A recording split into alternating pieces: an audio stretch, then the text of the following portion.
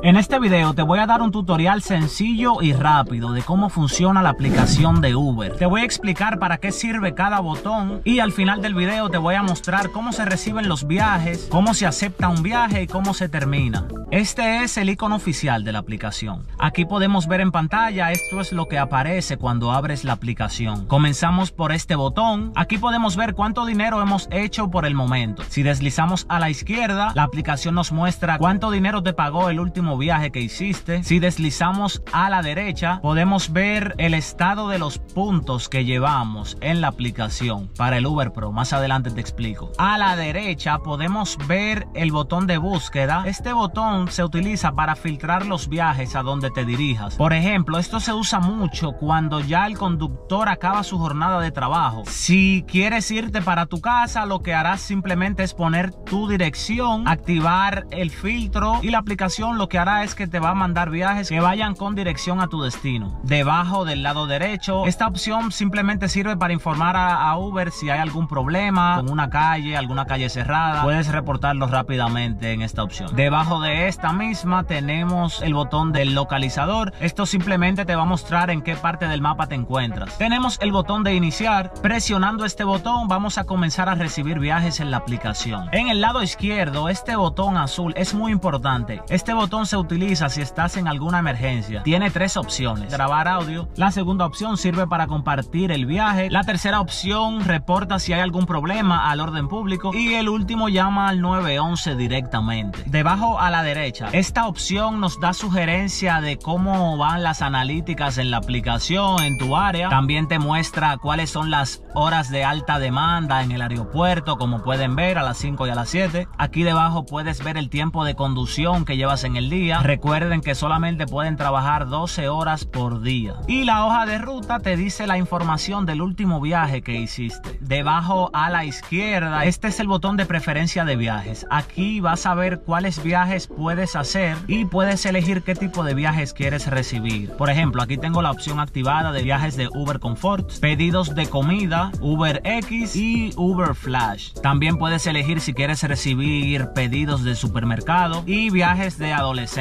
Ahora nos dirigimos a este botón en el lado izquierdo arriba. Aquí vas a ver una serie de opciones diferentes. Comenzamos con la primera presionando tu foto. Aquí tienes acceso a tu perfil. Aquí puedes ver cuál es tu calificación. En entregas puedes ver cuál es la calificación si has hecho algún delivery de comida. Aquí vemos cuál es la tasa de aceptación si aceptas y rechazas muchos viajes. Y en el cuarto podrás ver la tasa de cancelación. Cuántos viajes has completado y cuántos has cancelado. Si quieres escribir una biografía acerca de ti, puedes agregarla aquí. Aquí puedes escribir cuántos idiomas hablas, de dónde eres, entre otros. Aquí podemos ver los reconocimientos que los clientes te han dado y los logros. Aquí te van a mandar todos los mensajes importantes. Es bueno que siempre estés atento a esta opción. Aquí puedes ver el estado de personas que hayas referido a hacer Uber en la aplicación. Esta es una de las opciones más importantes ya que aquí puedes ver cuáles son las oportunidades que hay en el momento. Por ejemplo, aquí pueden ver que hay algunos eventos. Por el momento solamente están estas promociones en la aplicación, pero aquí también pueden ver desafíos que la aplicación te puede mandar en algún momento, por ejemplo como este que te enseño en pantalla. También si tienes las reservaciones habilitadas en tu aplicación, aquí te van a salir y los eventos. El próximo botón es muy importante también, ganancias,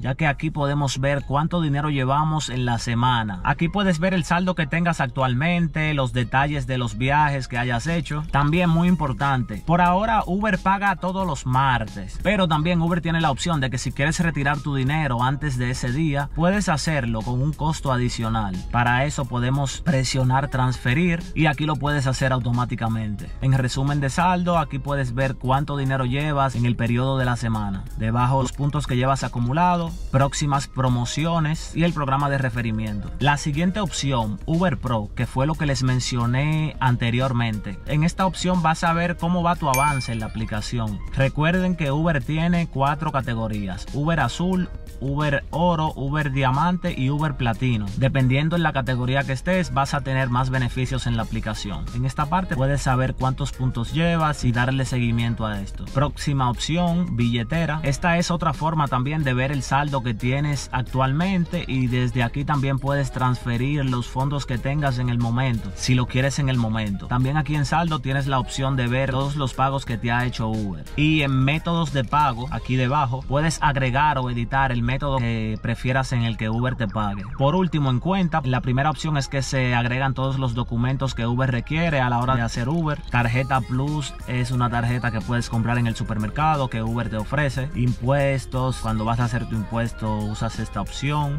Ahora me conecté en la aplicación para mostrarles cómo funciona cuando te entra un viaje y cómo se acepta. Aquí nos cayó un viaje, lo aceptamos. Aquí pueden ver. La aplicación te muestra dónde se encuentra la persona.